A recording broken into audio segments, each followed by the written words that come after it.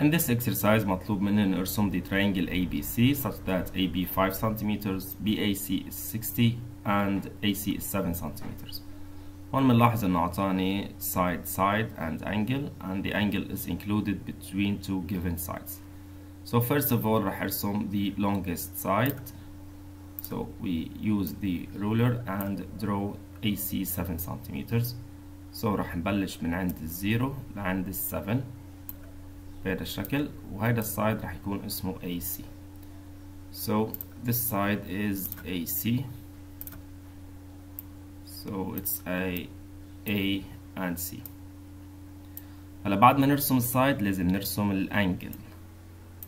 So the angle is 60 degrees. So راح نستعمل tools راح نستعمل البروتراكتور وراح نحطها بهذا الشكل أنا عندي BAC so أحط the vertex the center of the protractor على ال vertex راح أحط المارك عند 60 okay and then راح نرسم the other side راح يكون طوله حسب المطلوب 5 centimeters so like this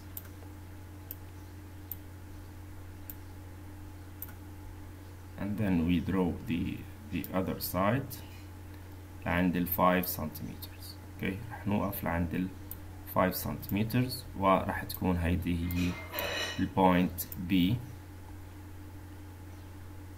so عندي ال AB 5 عندي ال AC 7 عندي this angle is 60 degrees وهلا راح نوصل ال B مع ال C the vertex B to the vertex C using the ruler